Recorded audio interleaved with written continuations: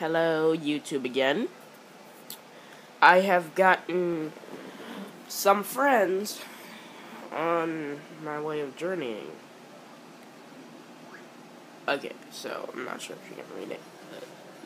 They all didn't sign up, but the reason of that is because my data has erased because apparently I thought you can unlock characters from Wiimmfi. No. No, because I thought I can unlock characters even when I still have Wiimmfi. And apparently it says if you go on Wiimmfi, then it's gonna say data's corrupt. If you get characters while you have Wiimmfi, then it, no, if you get characters on your regular game,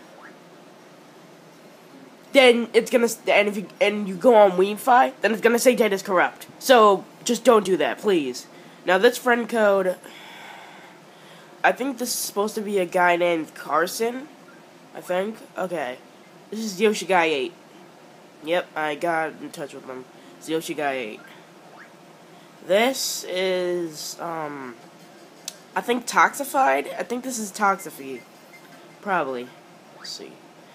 This is Sniper, Mario Kart Wii Hack. Oh yeah, uh, subscribe to Toxified Mario Kart Wii Hacker. This is, this is the, this is him, but it doesn't say. Okay. Um. Okay. Uh.